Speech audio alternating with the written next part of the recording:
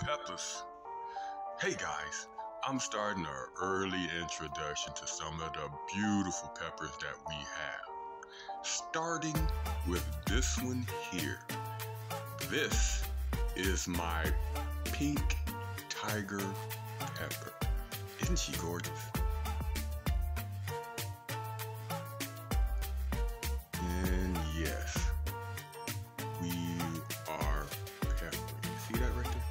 See that nodule at the very top? Oh yeah. Oh yeah. We doing what we do. Now, all the white cups you see, these are the peppers that I will be crossing